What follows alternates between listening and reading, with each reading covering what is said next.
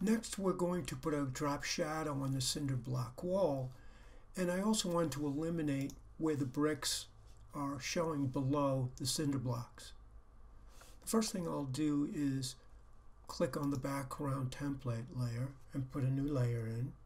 And in my swatches I'll pick maybe a 35 or 40% gray and I'll fill it.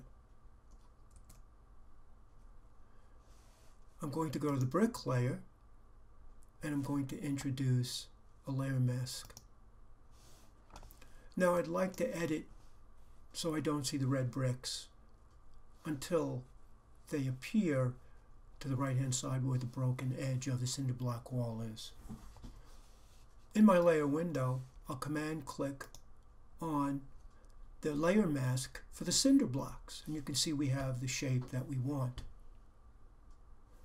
Now I'll hit B on the keyboard.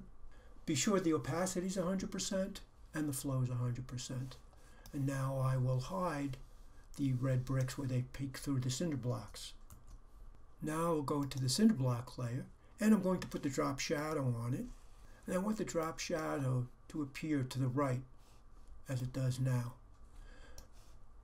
If we were to look at the layer styles window with the drop shadow, I've made the angle 180 degrees.